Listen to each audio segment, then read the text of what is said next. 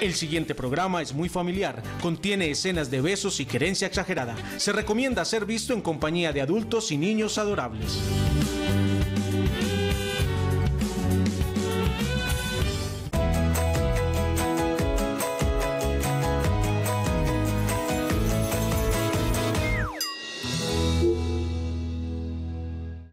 Nos unimos en un arrullo para abrir juntos un camino. Yo te ayudo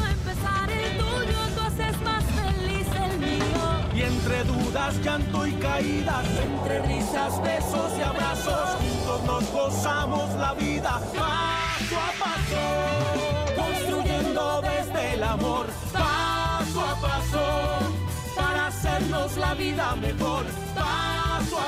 Bienvenidos a nuestro paso a paso. Aquí estamos una vez más felices de compartir este rato con ustedes. Ustedes que son eh, el ADN de este programa, los genes, los que nos dan esa identidad, los que yo no sé hasta qué tanto eh, nos harán cambiar de forma, eh, hasta qué tanto inciden en, en nuestro futuro, en lo que somos, pero sin duda son los niños, ustedes, nuestros televidentes, los que nos dan esa identidad.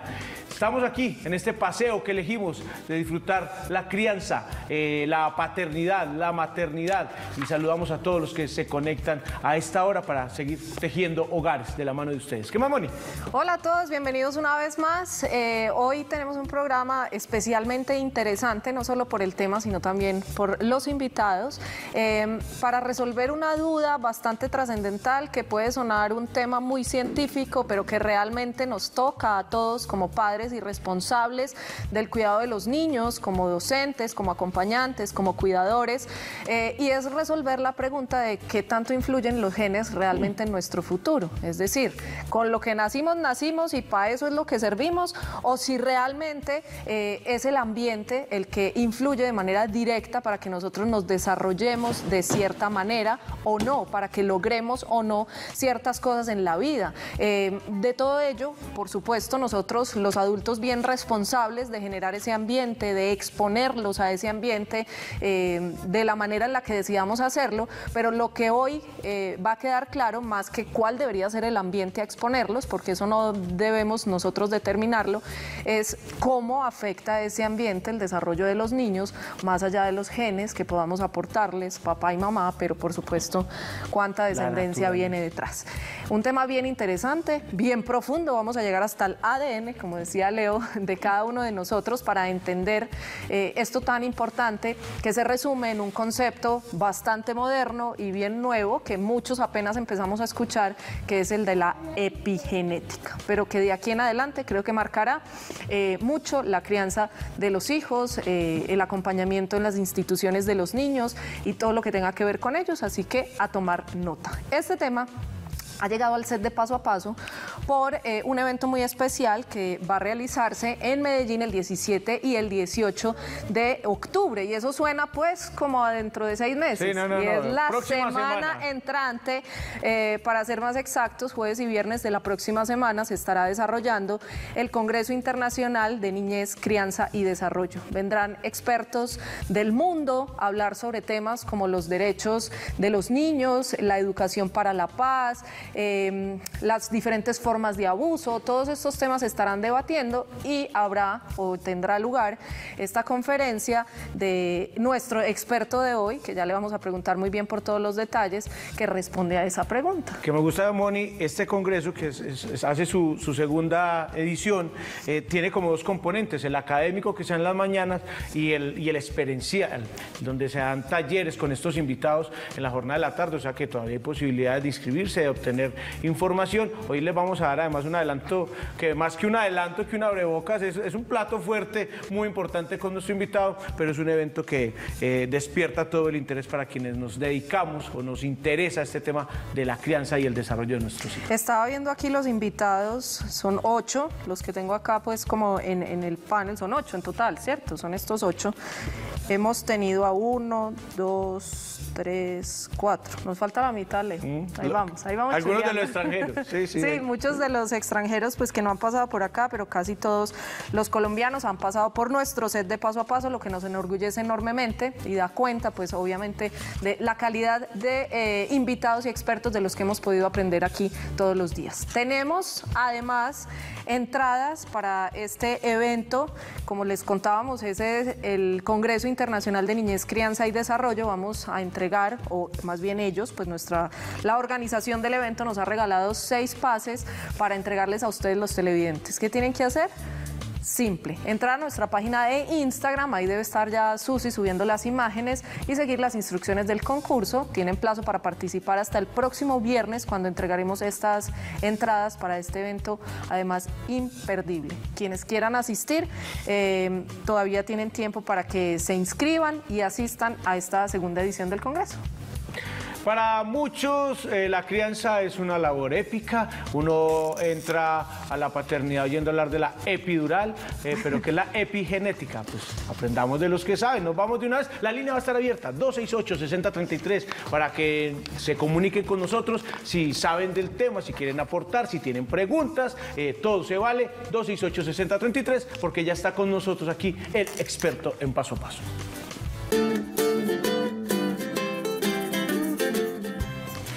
Muchas eh, eminencias nos han eh, visitado en nuestro programa y el doctor que nos acompaña hoy es una de ellas. Nos enorgullece, nos alegra mucho tenerlo acá. Doctor Juan Fernando Gómez. Doctor, bienvenido de nuevo gusto, a nuestro paso a paso. ¿Cómo va Bienvenido, todo? doctor. Qué bueno tenerlo. Muchas gracias por esta invitación y me siento de verdad muy honrado de participar en un programa de la calidad que tiene paso a paso. Ay, nosotros de que usted nos, no- que nos eche semejante esto, piropo, pues, claro. semejante flores. El Sí. doctor Juan Fernando Gómez, eh, para conocimiento de todos, es médico pediatra, profesor titular de pediatría de la Universidad de Antioquia, autor de varios libros exitosos sobre crianza y es actualmente el coordinador del grupo de crianza de la Universidad de Antioquia, un grupo de crianza que funciona hace cuánto, doctor? Vamos a cumplir el mes entrante 30 años de 30 trabajo años. continuo académico y social alrededor de la crianza. Perfecto. Y además, papá y abuelo de quiénes, para echarle el saludito. Claro que sí, de Sebastián, de Lorenzo y de Agustín. Tres jóvenes que nos acompañan y que nos interrogan muchas cosas y de quienes podemos aprender mucho. Quienes le han puesto a prueba, me imagino, un montón de conocimientos modernos que no le tocaron con los hijos. Totalmente, y a veces eh, me han echado por el suelo muchos preceptos de la puericultura. Pero esa dinámica es maravillosa y, y nos obliga a estar eh, cambiando, adaptándonos. Muy interesante. Bueno, doctor, a lo que vinimos. Yo decía, no dijimos mentiras ahorita en la introducción. excelente. Bueno, bien, Leo, vamos bien porque no es un tema fácil, es un tema complejo, este la de hip- epigenética, que el doctor ha nombrado, pues así su conferencia que estará dictando allí en el Congreso, ¿está realmente el futuro en tus genes? ¿Por qué decidió llamarla así? ¿Y a qué hace alusión este título? Sí, la palabra epigenética etimológicamente se deriva de una raíz griega epi, que quiere decir sobre, y genética es la genética. Entonces la epigenética son aquellas circunstancias que actúan sobre la genética y que van a dar como resultado modulaciones o cambios en la expresión de los genes de que ustedes hablaban ahora. Más o menos está ahí como desafiándolos. de alguna manera eh, ejerce una acción moduladora. Es muy interesante porque hace 20 años o 30 se decía, tu destino está en tus genes, como lo decía Mónica ahora, pero hoy en día se ha podido establecer que hay una cantidad importante de mecanismos del ambiente que pueden actuar sobre el material genético que heredamos de nuestros padres y que pueden actuar de una manera positiva o negativa según el tipo de ambiente al cual nos estamos exponiendo. De alguna manera es importante decir que hoy nosotros como seres humanos somos artífices de la calidad de nuestra propia vida, porque en la conjunción, en esa unión entre lo heredado y lo vivido, podemos nosotros en lo vivido establecer una serie de mecanismos que nos permitan o silenciar la expresión de los genes o activarla de acuerdo con las conveniencias necesarias en un momento dado. Y esto tiene el ejemplo más claro en la prevención de algunas enfermedades que si no se previenen van a alterar la calidad de vida de la adultez y de la vejez como un elemento muy importante que debemos tener en cuenta desde etapas muy tempranas. Eso, doctor, es un tema tan complejo como apasionante, diría yo. De verdad que Pero sí. por lo poco que se entera uno y, y- y lo que oye hablar sobre el tema, o sea, hay condiciones de la persona que pueden cambiar con el entorno, la naturaleza, y que además pueden ser heredables después. Sí, Eh, se sabe, por ejemplo, que la natura, ha habido una discusión muy grande toda la vida, que qué es lo más importante, si lo heredado o lo vivido. Lo de la familia no se pierde, hijo de tigre sale pintado. Exacto, en términos sencillos, si la biología, que es lo que heredamos, o la biografía, que es lo que vivimos. Todos sabemos que tenemos un material genético heredado de nuestros padres que hoy apenas se asoma la investigación a tratar de modificarlo, a tratar de hacer variaciones importantes. Eso, eso quiere decir más o menos que los genes ya no nos condenan, como No, antes estaba, es que estoy condenada por los genes, un ejemplo muy pendejo, a ser gorda. Y le digo, por ejemplo, en enfermedades, hay una enfermedad, un trastorno de los lípidos de la sangre que se llama hiperlipidemia familiar. Y se ha podido demostrar que mediante mecanismos epigenéticos que tienen que ver, por ejemplo, con una dieta sana desde que se nace y una actividad física adecuada, por ejemplo, se puede modular esa presión genética que se tiene en una enfermedad familiar y hacer que la expresión de la enfermedad o se retarde mucho o inclusive no aparezca. O sea que miren que nos vamos, vamos siendo artífices de muchas de las cosas que vamos a vivir si tenemos la, la perspectiva y la prospectiva de mirar hacia adelante, sobre todo cuando estamos acompañando a niños y niñas a crecer y a desarrollarse. Pero doctor, esto va más allá, asumo yo, de- que del tema médico y el tema de las enfermedades. Uno antes conocía familias de músicos porque crecían y heredaban el talento y es que yo tengo los genes musicales y el oído se lo saqué a mi abuela o la destreza para interpretar instrumentos a mi papá o en mi casa. Pero ya uno cada vez va más familias en donde la- hay niños músicos que no tienen, por ejemplo, una historia musical. Claro. Las dinastías han existido siempre, y ustedes lo saben bien, lo ve uno en toreros, en músicos, en artistas, y es la conjunción entre lo que se hereda y lo que se vive. Hay gente que dice, yo escuché notas de piano prácticamente desde que nací, o de pronto hasta recuerdos intrauterinos, si se quiere, y ese ambiente con un genoma favorable para una propensión a la música y a las habilidades musicales, pues representa un complemento ideal. Pero como decimos en biología, de nuevo pueden aparecer perfectamente genios sin que hubiera existido ese ambiente formal que en otros casos ¿Qué se es da. lo que está pasando ahora? Porque caso contrario, familias en donde no había músicos, entonces simplemente nacíamos o crecíamos con la concepción de que no servíamos para ellos sin ni siquiera haberlo explorado. De ahí la importancia de los aprestamientos tempranos a los niños en áreas fundamentales de la vida, de la expresión cultural, del intelecto, para que en el contexto de lo que hoy se llama las inteligencias múltiples, estos niños puedan desarrollar un tipo de talento que les va a permitir un ejercicio vital muy gratificante, muchas veces un modo de vida y una producción que puede ser trascendente para la humanidad, como ha ocurrido en tantos casos. Doctor, desde este concepto de la epigenética ya entendimos un poco en palabras más, más simples que es, existe eh, claramente una relación modificable entre el ambiente y la herencia que traemos con nuestros genes. Eh, en, en este sentido, ¿Qué, tanto impacto o qué tan importante es exponer a los niños a tempranas edades a estilos y ambientes de vida saludables? Es definitivo. Miren, en la prevención de las enfermedades cardiovasculares, que hace parte de las que se llaman enfermedades crónicas no transmisibles, que tienen que ver, por ejemplo, con la hipertensión, con la diabetes, con los problemas cerebrovasculares, además de los cardíacos, se sabe que la, la instauración temprana de hábitos de vida saludable es determinante. Los niños representan en, su, en, su- en la iniciación a la vida una ventana de oportunidad, que es un concepto muy bello para enseñarle los hábitos saludables. Miren, si a un niño desde etapas tempranas se le enseña a comer con poca sal y con poco dulce, ese niño va a ser capaz de disfrutar la alimentación con poca sal y con poco dulce. Uno del que los tira, mamá. Claro, y una vez instaurado ese hábito, ese hábito le va a permitir que, que se afiance en su diario vivir como persona, como se afianzan también los hábitos negativos.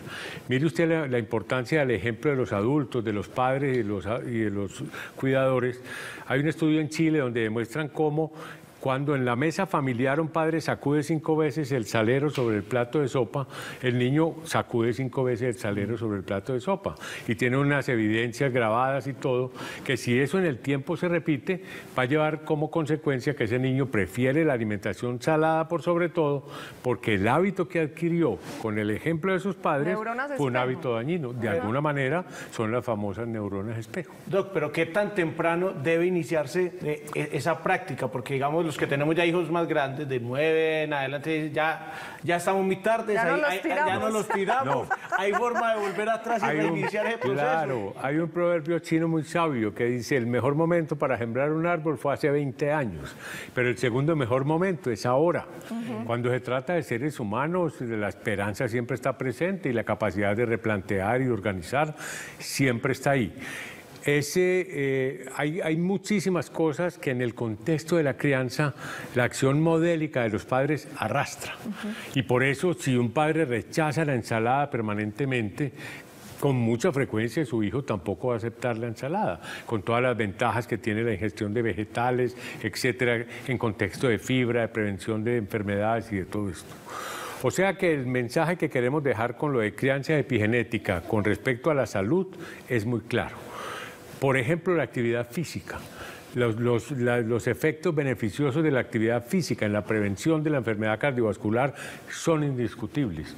Y ustedes saben que la actividad física es un hábito que a fuerza de repetirse se, se incorpora a la, a la rutina usual de las personas hasta el punto de que quien está enseñado a hacer actividad física le cuesta mucho dejar de hacerla. O sea que es un vicio bueno, diríamos así, en, en- en esos términos.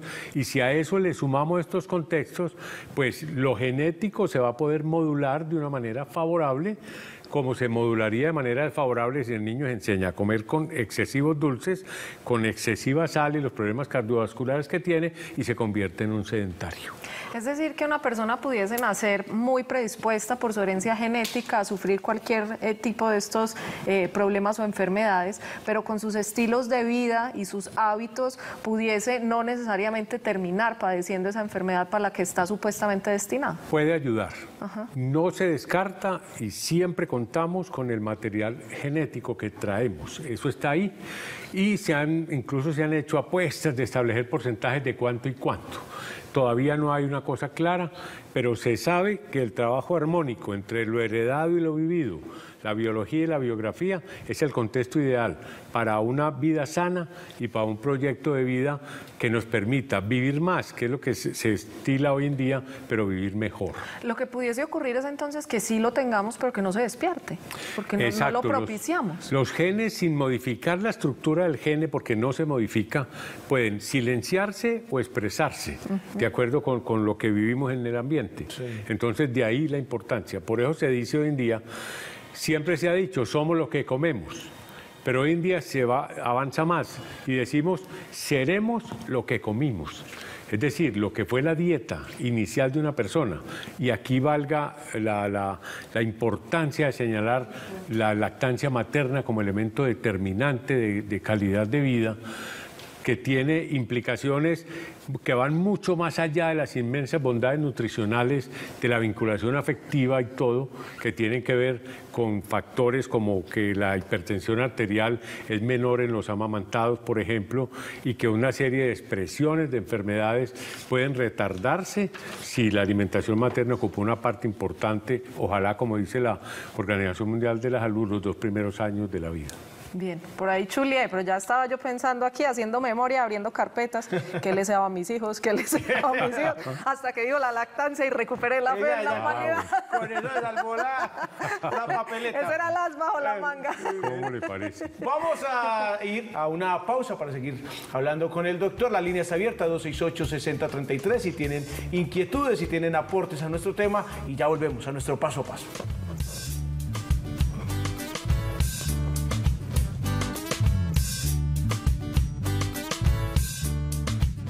Estás viendo Paso a Paso.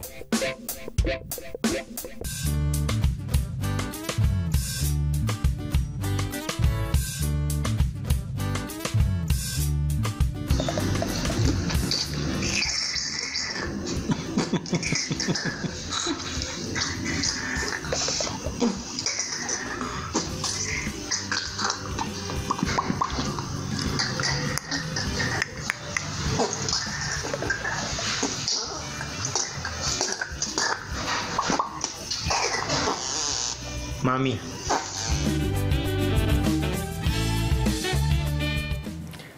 María Ángel está con nosotros en Mamarazzi. Ustedes pueden enviar también sus videos y fotografías a paso a paso arroba telemedellín.tv. Tenemos ya llamada, está Yesenia en la línea. Ustedes pueden hacerlo también al 268-6033. Yesenia, mamá de María José, está aquí con nosotros. Bienvenida, Yesenia, ¿cómo vas? Ah, muy bien, Leo, muchísimas gracias. ¿Y ustedes? Muy bien, contentos de escucharte. ¿Qué edad tiene María José? Nueve meses. Perfecto. Tu Aquí pregunta. estamos viendo el programa, es lo único que la dejo ver. Ah, bueno, epigenéticamente estás, estás haciendo mucho por ella, digo yo, ¿no? Yesenia, tu pregunta, tu experiencia con este tema, ¿habías oído hablar de esto ya o no? Sí, yo había escuchado al doctor pues viendo eh, algunos videitos en YouTube, pero pues eh, la información no es tanta. Uno se queda como en que qué rico eh, fomentar en ellos pues lo de los hábitos saludables. Yo en eso sí he tratado de ser pues como un poquito necia porque si uno hubiera tenido como, como esa oportunidad, no nos, no, a mí particularmente no me hubiera dado tanta brega eh, incorporar hábitos saludables en la vida mía. Le quería preguntar al doctor eh, una cosita muy especial y es como él es el director del programa de la universidad, cuando yo vi eh, algunos de los videos en YouTube de él, yo traté como de obtener más información para saber si el programa que él dirige pues es como abierto a la ciudadanía o qué oportunidad tiene uno como ciudadano de obtener información de ese programa, porque yo estuve tratando de encontrar como más información y nada, lo poquito que he encontrado en YouTube nada más. Entonces, ya que lo vi en el programa, como aprovechar la oportunidad para ver cómo accedo a la información del programa que tienen en la de Antioquia. Yesenia, muchísimas gracias. Siquiera hizo esa pregunta que la teníamos, o la tenía yo por lo menos aquí dentro del tintero, porque la gente pregunta mucho, ¿cómo entrar al grupo de puericultura de la de Antioquia? Eso más o menos es como pasar a un doctorado, ¿cierto? No, absolutamente sencillo. Eh, fíjense que eh, la, la- la Universidad de Antioquia es una universidad pública, que es de todos nosotros, ustedes y nosotros. Eh, nuestro grupo se reúne desde hace 30 años todos los jueves de 7 a 8 de la mañana en la Facultad de Medicina y el ingreso al grupo es completamente abierto. Abierto así sea, como suena. caigan. Es un grupo interdisciplinario eh, donde hay personas de todas las profesiones y la profesión papá o mamá es la, la- la más bienvenida porque al fin y al cabo son los puericultores por excelencia. Tenemos unas publicaciones, eh, una de ellas se llama La crianza humanizada donde analizamos temas en un lenguaje muy general, sencillo, pero con rigor académico y que se encuentra en el portal de la Universidad de Antioquia. Usted ingresa al portal de la Universidad de Antioquia, hay unas pestañas ahí en publicaciones en la página de la Facultad de Medicina y ahí podemos ingresar, es un material que se puede reproducir, no tiene ningún problema y además tenemos una página que se llama Crianza y Salud que hacemos con la Sociedad Colombiana de Pediatría de acceso libre también www.crianzaysalud.com.co. O sea que me encanta que esa pregunta porque esto es una información pública para todo el mundo, porque en la crianza, si estas cosas no impregnan el tejido social, no estamos haciendo nada. Doctor, ¿cómo le gusta conectar con el tema de la epigenética tantos años después de atender pacientes en consulta, de ni siquiera me imagino yo le tocó ver este tema en la universidad y luego incorporarlo a toda esta sabiduría? ¿Cómo, cómo ha sido esa De relación? verdad que eh, es un tema que genera mucha esperanza, porque de alguna manera permite que cada uno de nosotros, cada uno de los niños y niñas y sobre todo las personas que los acompañamos, podamos jugar un papel que permita un proyecto de vida, una vida gratificante y sobre todo una calidad de vida hasta el final de la misma. Hoy en día se trabaja definitivamente en construir salud desde la niñez. Alguien decía que el mejor geriatra es un pediatra, porque de alguna manera llegar a la vejez sano es un propósito que hay que trabajar desde etapas tempranas.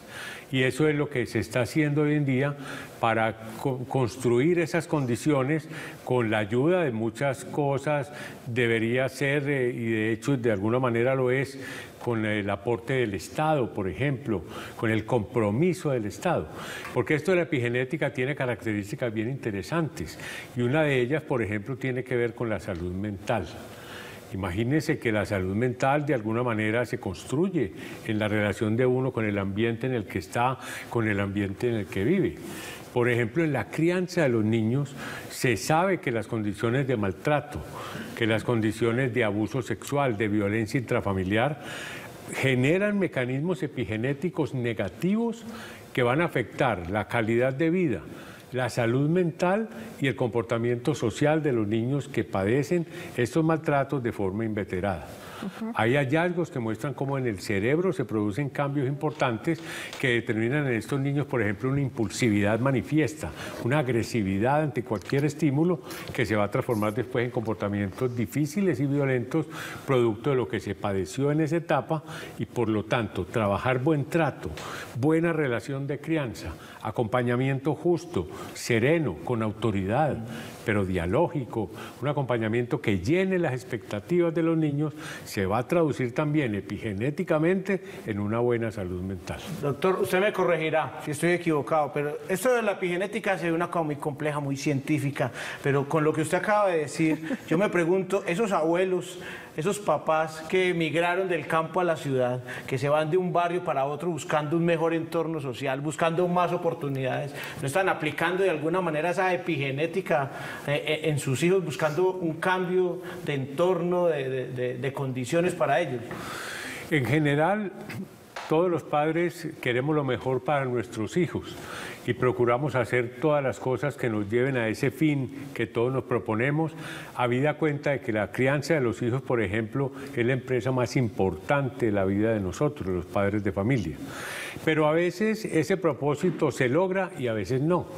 Uno a veces piensa que en el, en la- en el- en el viaje del campo a la ciudad, Muchas veces hay factores que van a dificultar de alguna manera la calidad de vida de la familia si no se dan una serie de condiciones y de oportunidades que permitan mantener un cierto nivel necesario y posible para una crianza saludable, digámoslo así. Cuando ocurren eh, migraciones y situaciones no deseadas, todos sabemos cómo se deteriora la calidad de vida, las relaciones de crianza, la salud mental de los integrantes de la familia, la autoestima, todas aquellas cosas. Y muchas veces el resultado entonces puede ser complejo y a veces un poco más deletéreo. Pero en esa tendencia de buscar lo mejor, con frecuencia se, se encuentran oportunidades que permiten un ejercicio de crianza más tranquilo, más productivo y, ¿por qué no, más esperanzador?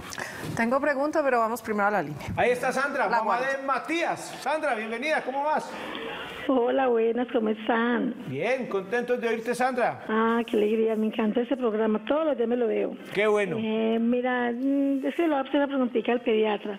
Lo que pasa es que a Matías lo operaron hace dos años de adenoides eh, lo- de los oídos y de las amígdalas. Y ya no le gusta sino comer todo, licuado, o, pero no mastica. Y dejó de, pues, de, re- de repetir muchas palabritas que él repetía. Lo tenemos en el fonodiólogo y todo por lo mismo porque no ya no habla, ya no mastica, todo tiene que ser licuadito. No, ¿dónde no lo habremos llevado? A todas partes, a médicos particulares. Lo estamos llevando por la clínica Medellín, a una fonodióloga, es que Cristina, hoy, hoy venimos de la cita, llegamos de la cita con él, pues la otra yo lo veo muy bien. Lo llevamos ayer al médico, eh, al otorrino, dijo que tenía los oídos muy bien, que bueno, porque hay que tomar los taponcitos. Y no, pero no, de todas maneras, muy difícil que coma, mucho, mucho. Él no come gaseosa, él no toma con pitillito. ¿Comía bien Mm, sí, antes de la cirugía? sí, antes de la cirugía comía de todo. De todo Sandra. lo que uno le diera comida a Matías, de verdad, de todo. Muchísimas gracias. un arroz con huevo, lo que uno le pusiera en el comedor de él, se devoraba lo que fuera. Y lo operaron hace dos años y de ahí, mm, mm, nada. Ok, no, Sandra. no, pues le hicieron, le han hecho un examen de oclusión. No, ¿dónde no De lo todo. habremos llevado? De verdad. Pues vamos a ir al doctor Sandra a ver qué, tiene para decir al respecto. Sí, la, la deglución, el acto de tragar, de deglutir, es muy complejo desde el punto de vista neurológico. Es necesario que se coordinen una serie de músculos que están a su vez coordinados por nervios para que se dé todo este camino del alimento desde la boca hasta el tubo digestivo. Cuando han ocurrido enfermedades altas que involucran la, la- la- cara y, y toda la cavidad oral, el problema de las adenoides, el problema de amígdalas, todas estas cosas, pues en determinado momento pueden eh, explicar que se hayan presentado algunas dificultades transitorias en el acto de deglutir. Y la- los problemas de la deglución los vemos los pediatras con mucha frecuencia en niños de tres años que son incapaces de masticar ciertos alimentos y que hay que darse, las madres se los dan licuados. Pero otros que les gustan sí tienen una especificidad y los degluten bien. Eh, Está haciendo usted lo que hay que hacer. La rehabilitación, la parte de la fonoaudióloga, existe rehabilitación de la deglución, pero son procesos a veces lentos, por lo cual no nos debemos desesperar e insistir con esperanza en que el niño va a alcanzar esa madurez que le va a permitir tragar con tranquilidad, ya que es algo bien importante para la nutrición y para el bienestar del niño. Ok, doctor, retomando ese tema de la epigenética, decía yo que tenía pregunta. ¿La epigenética es luego heredable? Es decir, una vez nuestro ambiente ha transformado o ha dormido o ha inhibido el, desarrollo de esos genes o por el contrario lo ha potenciado, ¿esa condición luego se va transmitiendo a las demás generaciones, ese cambio? Es uno de, de los postulados todavía en cuestión que tiene personas que eh, aseguran que ello es así y que inclusive por varias generaciones estos cambios epigenéticos tendrán una franca expresión. Otros insisten en que como no se altera la estructura misma bioquímica, digámoslo así, de los genes, ese cambio incluso a veces pudiera ser un poco reversible. Pero la tendencia en lo que uno lee es que puede haber expresiones en generaciones siguientes y lo que conlleva a una responsabilidad grande, digámoslo así, en lo que tiene que ver con tratar de mantener una- un nivel de vida saludable que garantice no solo la calidad de uno como persona, sino lo que su trascendencia biológica le pueda brindar. Pero eso debería ser lo primordial, ¿no? Garantizar esa calidad de vida como persona, porque Claro. si uno lo garantiza a través del ambiente, pues finalmente ese ambiente al que uno está expuesto será el ambiente en que hereden nuestros hijos, será el ambiente en que luego eduquen a los suyos y así sucesivamente. Pues siempre hemos hablado y en eso nadie discute que cuando somos padres arrastramos todos los patrones anteriores y aquí se repite la historia. Eso es verdad. De- debemos tener en cuenta, y es muy bueno que los televidentes lo tengan claro, que lo genético está ahí y que cuenta, ¿cierto? Cuenta, eso es algo importante, pero que hoy es la unión, esa, esa- ese amalgamamiento entre lo heredado y lo vivido, lo que nos da el producto final de la calidad de vida. A propósito de calidad de vida, hablemos un poco como del estrés crónico al que nos estamos enfrentando, porque el mundo allá nos ha llevado, la sociedad actual allá nos ha llevado y no encontramos muchas veces esas herramientas para detenerlo. Ese estrés, en términos de epigenética, ¿a qué nos puede llevar? A nosotros y a los hijos. Sí, una de las tensiones grandes de la, de la crianza actual es la ansiedad, la ansiedad y el estrés, que lo vivimos los padres con mucha frecuencia en el mundo de hoy y que impregna la vida de los niños de una manera muy importante. Y eso sería un mecanismo, por ejemplo, de tipo epigenético. Eh, hoy en día hay unas corrientes del pensamiento universal que quieren volver un poco hacia atrás. Y ustedes lo han visto y de pronto han hecho, los han hecho de verdad programas ustedes aquí sobre la importancia de la, de la conciencia plena, por ejemplo, del mindfulness, de las técnicas de meditación, de la práctica del yoga, de una gran cantidad de elementos que buscan eh, garantizar algún grado de introspección, de insight, como dicen los Conocerse psicólogos, a sí mismo. de conocerse a sí mismo y una acción tranquilizadora, digámoslo así, que incluso se ha visto que tiene implicaciones neurofisiológicas demostrables mediante estudios que puedan llevar a una aproximación al mundo un poco más tranquila. Por ejemplo, hay movimientos, hoy en día hay movimientos de crianza lenta, de crianza con lentitud donde se trata de disminuir ese atafago de cosas que ocurren en la crianza para tratar de uh, hacer una crianza más simple, en contacto con la naturaleza, donde el juego sea un elemento determinante y donde las condiciones de estrés se modulen, vale aquí también la palabra, se puedan modular para que no nos afecten la vida de una manera tan importante. El concepto de salud mental es algo que epigenéticamente es muy importante, porque lo decíamos ahora, las condiciones en que viven muchos niños en el mundo y en nuestro país son muy propensas a que la salud mental no, no se pueda establecer con plenitud. Son infancias muy heridas, personas que llegan a la adultez con muchos traumas y eso es todo, la gran cruzada que tenemos que hacer en nuestro país para que la crianza sea lo más feliz que se pueda. Pero eso es producto del ambiente. ¿no? Todo eso, Justamente claro, ahí es que Pero yo quería preguntar respecto a eso, doctor, ¿a, a cuánto tiempo estamos? eh, si el tema de la meditación, el mindfulness, el, el juego cada vez es más avalado por los profesionales, ¿a cuánto estamos para cambiar el ADN del sistema de salud y que en vez de ibuprofeno y acetaminofén nos manden una sesión de yoga, de meditación, dos o tres horas de juego? De juego libre. de juego libre. De verdad que hacia allá tenemos que llegar. Y de verdad que en la literatura encuentra uno aproximaciones muy interesantes de ciertas culturas que van pensando en que hay que replantear cosas. Hace un año se celebró en Doha la Cumbre Mundial de Educación que re- reunió a los más grandes expertos. Y, por ejemplo, de, las, eh, de los elementos que más se trabajaron fue aquello de la, de la meditación, de la conciencia plena. Por ejemplo, la palabra ética fue la palabra que más se enumeró en la relatoría de toda esta cumbre mundial.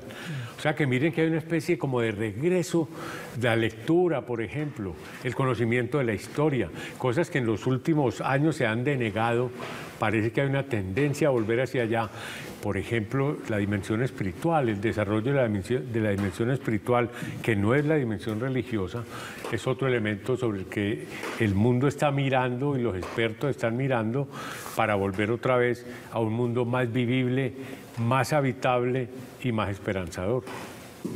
¿Cómo puede, doctor, uno eh, hacer práctico lo que hemos visto hoy en el programa? Yo, que soy tan gomboso, a mí me dan ganas de salir a, a probar todo de- después de que veo el programa. A probar Quiero- todo menos quiero la ser sal. un papá epigenético hoy.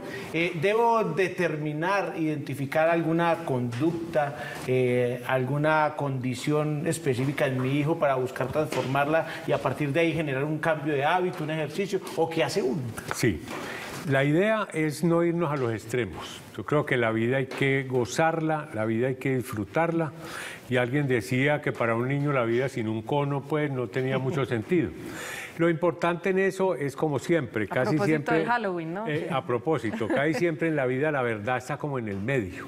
Es decir, conocer nosotros la importancia de que nuestro ejemplo y nuestro discurso de crianza lleve a los niños y niñas a generar hábitos de vida saludables.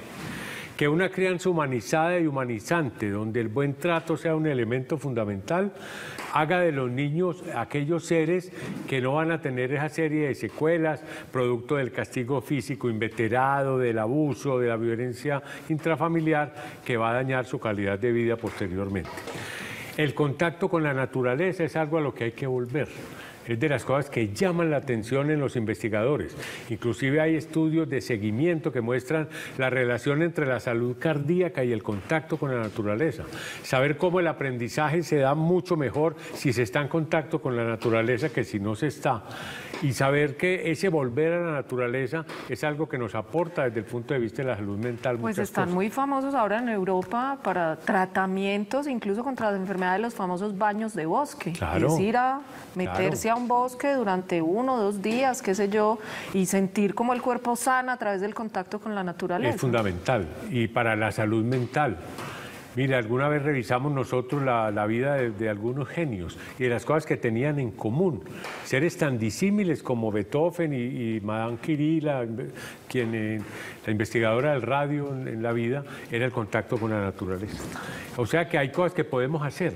A nuestros hijos les encanta la naturaleza y nosotros los apoyamos.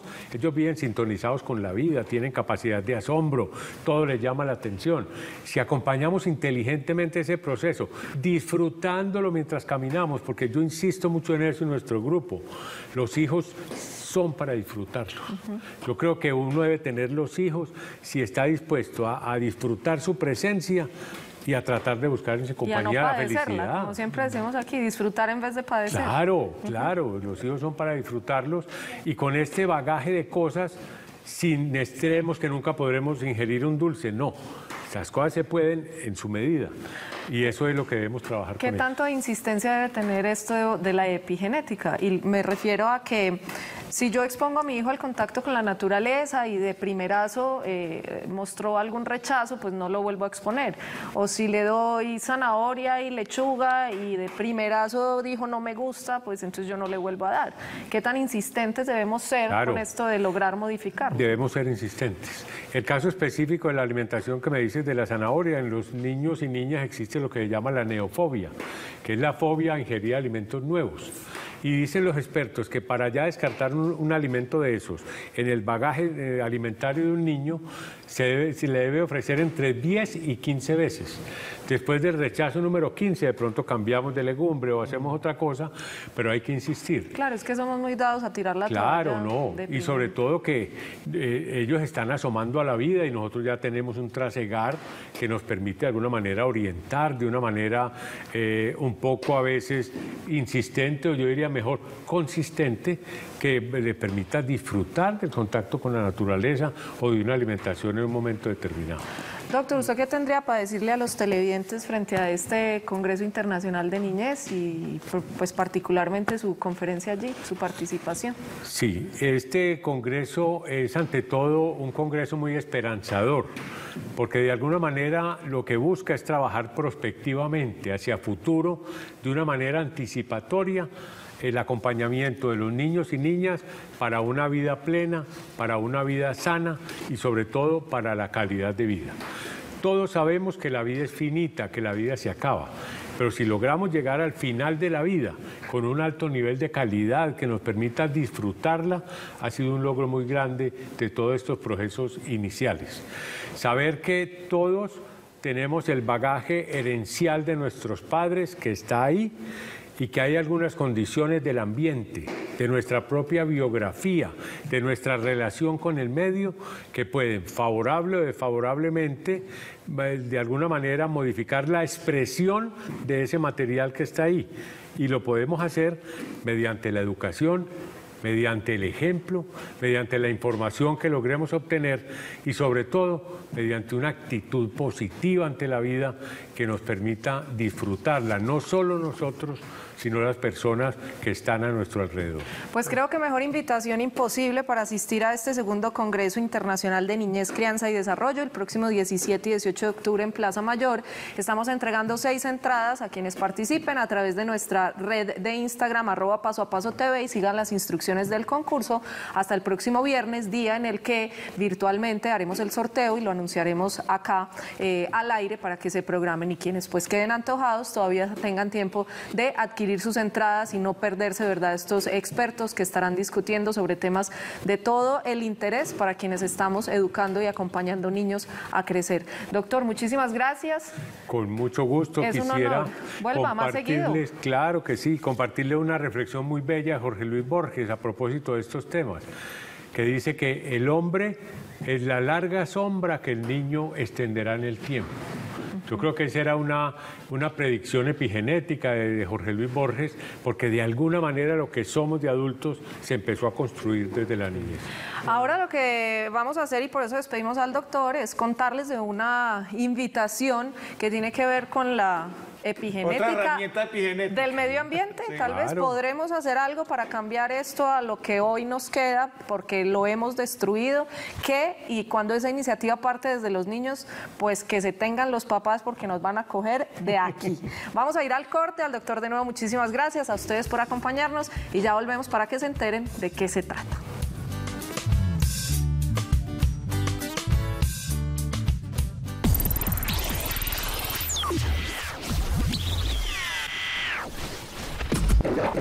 Estás viendo Paso a Paso.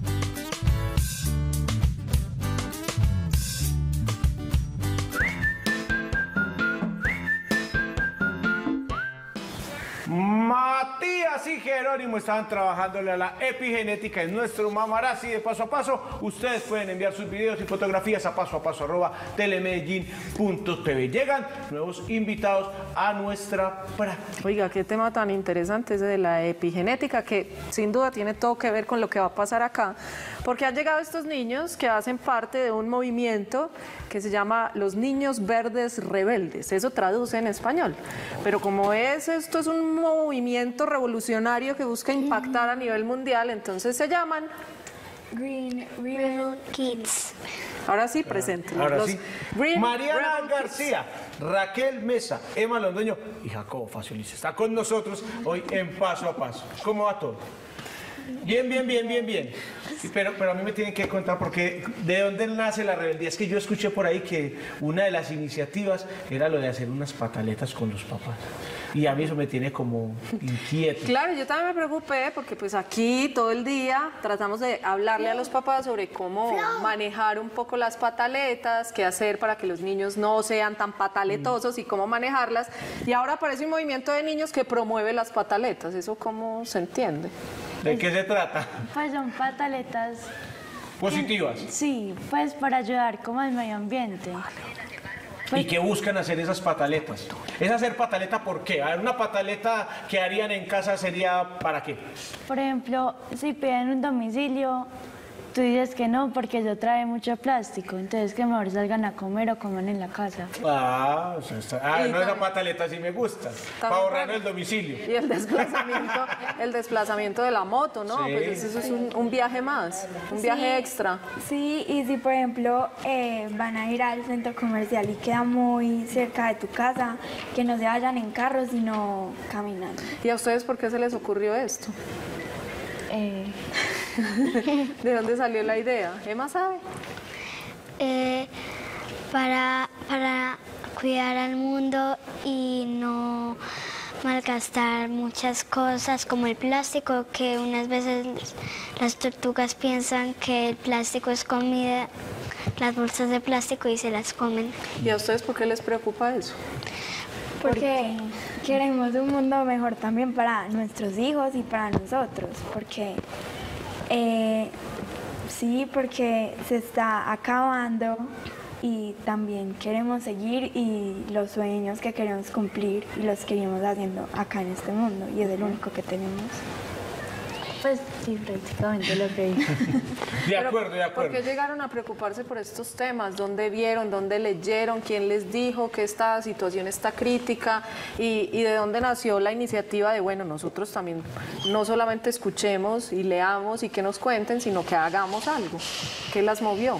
Eh, pues por ejemplo en Instagram han puesto muchas como historias de por ejemplo lo del Amazonas que se empezó a quemar.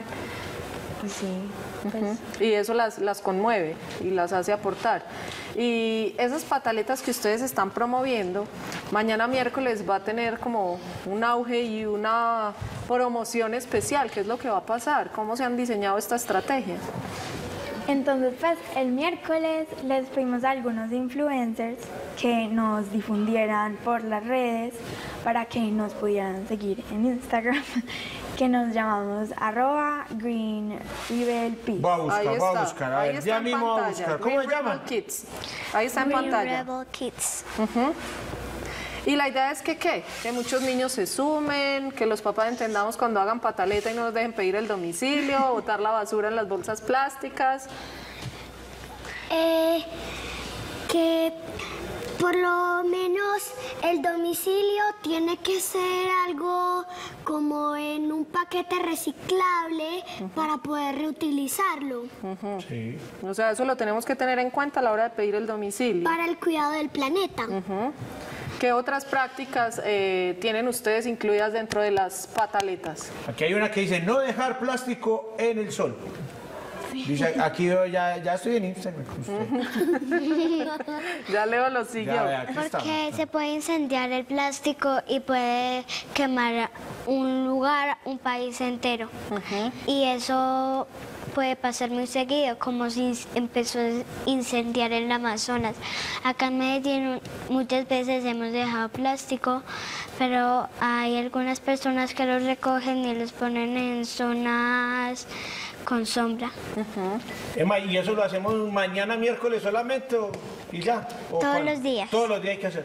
Mañana lo que va a pasar es la activación, ¿no? Ustedes han diseñado esto junto a activistas ambientales de la ciudad, bien comprometidos, movimientos ambientales que decididamente trabajan por la causa y han pensado en los niños como la mejor estrategia porque es en ellos donde puede haber un cambio de chip para que empecemos a cuidar el planeta, ¿cierto? Y mañana entonces, ¿cuál es la invitación a, a todos? Pues principalmente a seguirnos y también a mantenerse como viendo el feed para saber cómo ayudar más al mundo y cómo convertir de acciones un hábito. Ustedes están ahí publicando permanentemente acciones para contribuir al cuidado del medio ambiente. Sí, ¿Qué ibas a decir? que les quería contar de las tres R's. ¿Cuáles son La las tres? R es reutilizar, reciclar y Voy a anotar, reutilizar, reciclar reciclar y reducir. y reducir. Y otra cosa. Hay veces podemos salir en el carro, sí, pero no todo el tiempo. Podemos salir en bicicleta, caminando, eh, al centro comercial si está al lado. Eh, mantener el equilibrio entre todo. No, lo, no más cuidar el planeta, no. No volverse tan, tan, tan buenos haciendo eso. También pueden comer con cajas que no se reutilicen. Por ejemplo, tener desechables en la casa, ¿se vale o no? ¿Eso es bueno o es malo? Ni ninguna de las dos. Yo diría que hay que mantener el equilibrio. Sí. Ni muy malo ni muy bueno. O sea, pero hay que apostarle al extremo para poder encontrar el equilibrio porque generalmente usamos todo lo malo. Entonces, si le apostamos al extremo de lo bueno, pues posiblemente nos quedemos en la mitad, ¿cierto? Pero esas son algunas de las Pero, recomendaciones. y era todo lo que hablaba el doctor ahora, ¿no? El equilibrio. Sí, No se vale un dulce, pero es. también se vale. No usar, Lo que eh, pasa es que el planeta sí nos necesita como urgentemente, ¿cierto? ¿Qué otras acciones promueven ustedes o han creado estratégicamente para este movimiento? Como reducir el uso de plástico pues, de un solo uso. Plástico de un solo uso. ¿Qué es plástico de un solo uso? Pues por ejemplo, una botella de agua. Tú la compras, te tomas el agua y ya la botas. Es mejor llevar como tu propio termo. Cargar el termo. La bolsa del mercado, la bolsa plástica del mercado que a veces desempacan en el mercado y bolsa a la basura. Sí, pero usar también- bolsa reutilizable. Sí, pero si vas a usar las bolsas de plástico, por ejemplo, eh, las guardas y ya cuando vayas a guardar otra cosa que esté sucia, la pones en la bolsa. O sí. Porque es que yo, por ejemplo, veo a mucha gente, y esto me preocupa, llevando las, bolsas ecológicas al mercado, ¿cierto? Eh, yo esas bolsas, por ejemplo, las uso para la basura. Si no son esas bolsas, igual me toca comprar bolsas. O sea, si yo llevo la ecológica al mercado y no me dan bolsas, ¿tengo que comprar bolsas para botar la basura o ya hay algo para que podamos usar para botar la basura sin que sea plástico? Todavía no hemos llegado allá. Pues ahí les queda ese Ah, gran reto. ma- Mañana lo consultamos en el. Pues sí, entonces para que se unan mañana a este movimiento, ellas estarán eh, con todos sus influenciadores en redes sociales lanzando esto para que seamos muchos más los que nos unamos. ¿Tú qué quieres decir?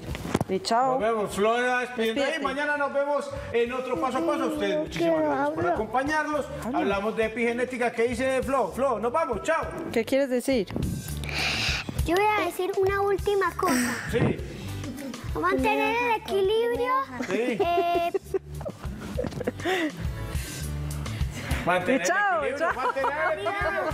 Chao, chao. Nos vemos. Bye.